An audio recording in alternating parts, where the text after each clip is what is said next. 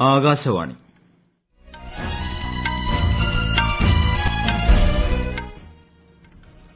നമസ്കാരം.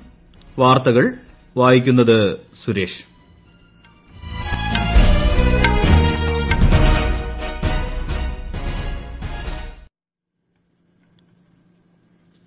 പ്രധാന വാർത്തകൾ. എഴുപത്തിയഞ്ച് ദിവസത്തെ ഇടവേളയ്ക്ക് ശേഷം നിയന്ത്രണങ്ങളോടെ സംസ്ഥാനത്തെ ആരാധനാലയങ്ങളും മാളുകളും ഹോട്ടലുകളും ഇന്ന് തുറക്കും. വന്ദേഭാരത് ദൌത്യത്തിന്റെ മൂന്നാം ഘട്ടം ഇന്നു മുതൽ ആരംഭിക്കും. കേരളത്തിലേക്ക് നാൽപ്പതിലധികം വിമാനങ്ങൾ എത്തും. രാജ്യത്ത് കോവിഡ് ബാധിതരുടെ എണ്ണം രണ്ട് ലക്ഷത്തി അൻപത്തിയാറായിരം കടന്നു. ഏറ്റവും കൂടുതൽ രോഗബാധിതർ മഹാരാഷ്ട്രയിൽ. എഴുപത്തിയൊന്ന് ലക്ഷത്തി എൺപത്തിയൊൻപതിനായിരം കടന്ന് ലോകത്ത് കോവിഡ് ബാധിതരുടെ എണ്ണം മുപ്പത്തിയഞ്ച് ലക്ഷം പേർ രോഗമുക്തരായി.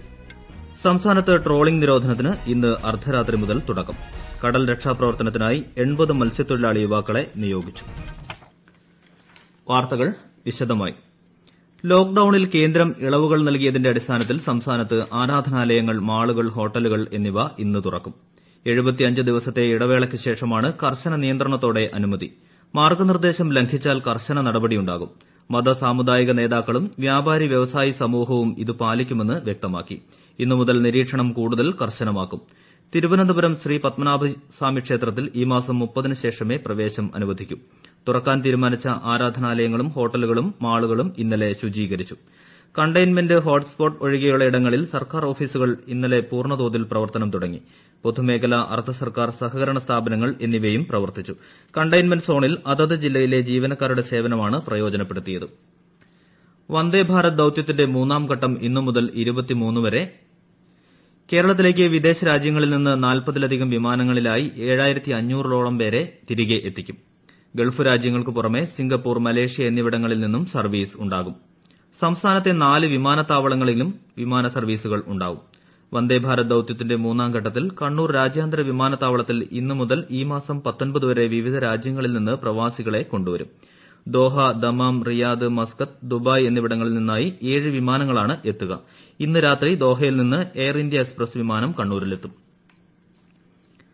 ചരക്കു സേവന നികുതി റിട്ടേണുകളുമായി ബന്ധപ്പെട്ട് തിരിച്ചടവില്ലാത്തവർക്ക് എസ് എം എസ് മുഖാന്തരം form G S T R three B പൂരിപ്പിക്കാൻ കേന്ദ്ര സർക്കാർ സൌകര്യമൊരുക്കി. രാജ്യത്ത് രജിസ്റ്റർ ചെയ്തിട്ടുള്ള ഇരുപത്തിരണ്ട് ലക്ഷം നികുതിദായകർക്ക് സഹായകരമാകുന്നതാണ് ഈ സുപ്രധാന നീക്കം. ഇതിലൂടെ ജി എസ് ടി സമർപ്പണ നടപടികൾ കൂടുതൽ ലളിതമാക്കാൻ കഴിയും. ജി എസ് ടി സമർപ്പണത്തിനായുള്ള പൊതുവായ പോർട്ടലിൽ ഓരോ മാസവും ലോഗിൻ ചെയ്താണ് നികുതി വിവരങ്ങൾ ഇപ്പോൾ സമർപ്പിക്കുന്നത്. എന്നാൽ പുതിയ സംവിധാനത്തിലൂടെ nil G S T return വിഭാഗത്തിൽപ്പെട്ടവർക്ക് login ചെയ്യാതെ എസ് എം എസിലൂടെ തന്നെ റിട്ടേണുകൾ സമർപ്പിക്കാവുന്നതാണ്. രാജ്യത്ത് ആകെ കോവിഡ് ബാധിതരുടെ എണ്ണം രണ്ട് ലക്ഷത്തി അൻപത്തിയാറായിരത്തി അറുന്നൂറ്റി പതിനൊന്നായി. ഒരു ലക്ഷത്തി ഇരുപത്തിനാലായിരത്തി തൊള്ളായിരത്തി എൺപത്തിയൊന്ന് പേരാണ് ഇപ്പോൾ ചികിത്സയിലുള്ളത്. ഏഴായിരത്തി ഇരുന്നൂറ് പേർ മരിച്ചു. ഒരു ലക്ഷത്തി ഇരുപത്തിനാലായിരത്തി നാനൂറ്റി മുപ്പത് പേർ രോഗമുക്തി നേടി. കോവിഡ് ബാധിതരുടെ എണ്ണത്തിൽ മഹാരാഷ്ട്രയാണ് ഇപ്പോഴും മുന്നിലുള്ളത്. എൺപത്തയ്യായിരത്തി തൊള്ളായിരത്തി എഴുപത്തിയഞ്ച് പേർ രോഗബാധിതരായി. മൂവായിരത്തി അറുപത് പേർ മരിച്ചു. നിലവിൽ ചികിത്സയിലുള്ളത് നാൽപ്പത്തി മൂവായിരത്തി അറുന്നൂറ്റി ഒന്ന് പേരാണ്. സംസ്ഥാനത്ത് ഇന്നലെ പേർക്ക് കോവിഡ് സ്ഥിരീകരിച്ചു.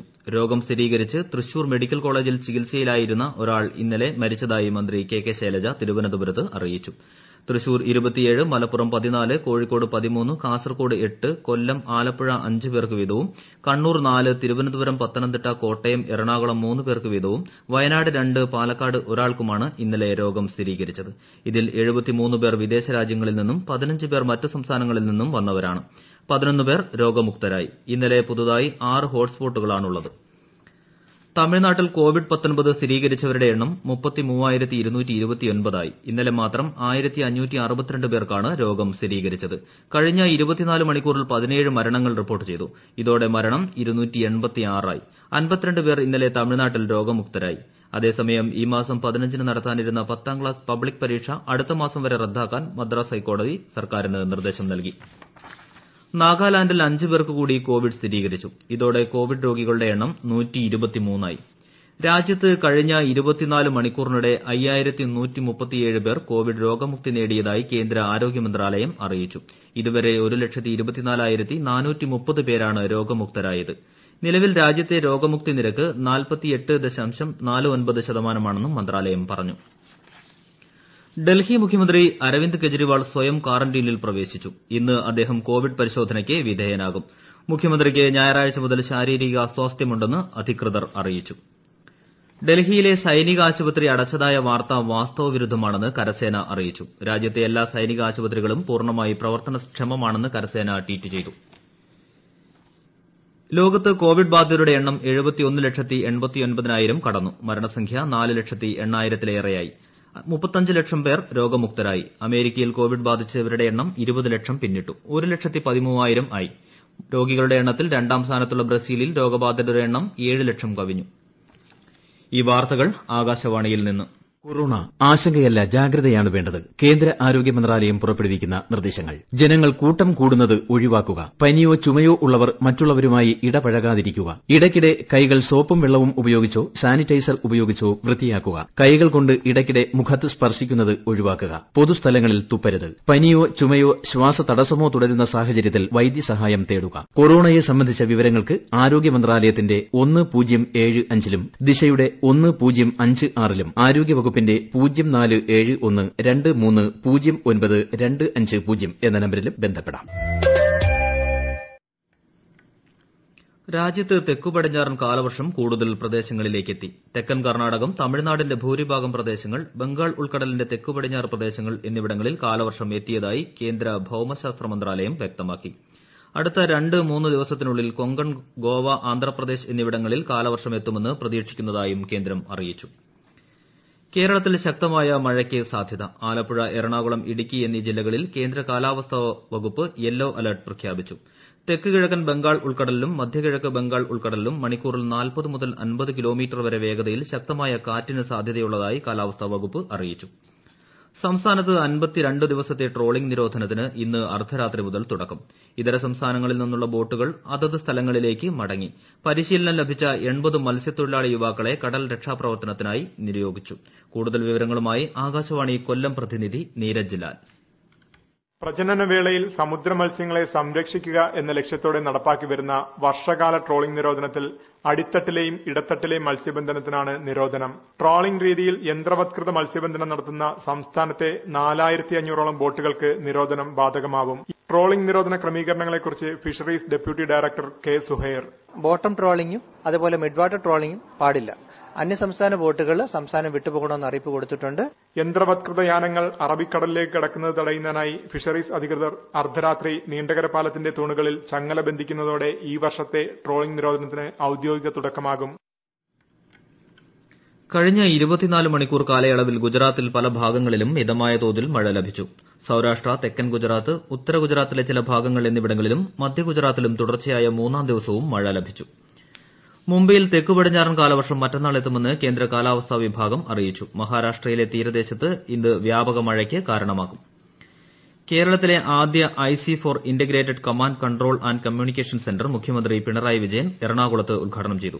ഇത്തരത്തിലുള്ള രാജ്യത്തെ നാൽപ്പത്തഞ്ചാമത്തെ സെന്ററാണിത്. ജവഹർലാൽ നെഹ്റു മെട്രോ സ്റ്റേഷനിലാണ് ഐ സി ഫോർ സജ്ജമാക്കിയിരിക്കുന്നത്.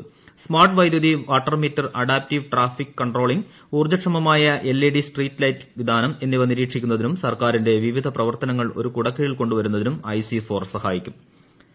ഡൽഹിയിൽ കോവിഡ് ബാധിതരാകുന്ന എല്ലാവർക്കും ചികിത്സ നൽകണമെന്ന് ലഫ്റ്റനന്റ് ഗവർണർ അനിൽ ബൈജാൽ ഡൽഹി സ്വദേശികൾക്ക് മാത്രമേ ചികിത്സ നൽകാനാവൂ എന്ന സംസ്ഥാന സർക്കാരിന്റെ നിലപാട് തിരുത്തിയാണ് ഗവർണറുടെ നിർദ്ദേശം. കേന്ദ്ര ഭക്ഷ്യ പൊതുവിതരണ മന്ത്രി റാംവിലാസ് പാസ്വാൻ പഞ്ചസാര ഉൽപാദന മേഖലയിലെ വിഷയങ്ങളിൽ ഉദ്യോഗസ്ഥരുമായി ആശയവിനിമയം നടത്തി ജമ്മുകശ്മീരിലെ ഷോപ്പിയാനിൽ സുരക്ഷാസേനയുമായുണ്ടായ ഏറ്റുമുട്ടലിൽ നാല് ഭീകരർ കൊല്ലപ്പെട്ടു. കഴിഞ്ഞ മണിക്കൂറിനിടെ ഏറ്റുമുട്ടലിൽ സുരക്ഷാസേന വധിച്ച ഭീകരരുടെ എണ്ണം ഒൻപതായി. ഷോപ്പിയാനിലെ പിഞ്ചോറ മേഖലയിൽ ഇന്നലെ പുലർച്ചെയാണ് ഏറ്റുമുട്ടലുണ്ടായത്. സംഭവത്തിൽ മൂന്ന് സുരക്ഷാ സൈനികർക്ക് പരിക്കേറ്റു. ഹിസ്ബുൾ മുജാഹിദ്ദീൻ ഭീകരരാണ് കൊല്ലപ്പെട്ടത്.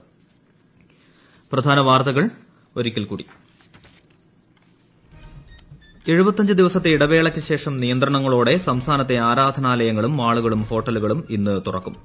വന്ദേ ഭാരത് ദൌത്യത്തിന്റെ മൂന്നാം ഘട്ടം ഇന്നു മുതൽ ആരംഭിക്കും. കേരളത്തിലേക്ക് നാൽപ്പതിലധികം വിമാനങ്ങൾ എത്തും. രാജ്യത്ത് കോവിഡ് ബാധിതരുടെ എണ്ണം രണ്ട് ലക്ഷത്തി അൻപത്തി ആറായിരം കടന്നു. ഏറ്റവും കൂടുതൽ രോഗബാധിതർ മഹാരാഷ്ട്രയിൽ. എഴുപത്തിയൊന്ന് ലക്ഷത്തി എൺപത്തി ഒൻപതിനായിരം കടന്ന് ലോകത്ത് കോവിഡ് ബാധിതരുടെ എണ്ണം. മുപ്പത്തിയഞ്ച് ലക്ഷം പേർ രോഗമുക്തരായി. സംസ്ഥാനത്ത് ട്രോളിംഗ് നിരോധനത്തിന് ഇന്ന് അർദ്ധരാത്രി മുതൽ തുടക്കം. കടൽ രക്ഷാപ്രവർത്തനത്തിനായി എൺപത് മത്സ്യത്തൊഴിലാളി യുവാക്കളെ നിയോഗിച്ചു. വാർത്തകൾ കഴിഞ്ഞു. ഇനി ഈ നിലയത്തിൽ നിന്നുള്ള വാർത്താ പ്രക്ഷേപണം ഉച്ചയ്ക്ക് പന്ത്രണ്ട് മുപ്പതിന്.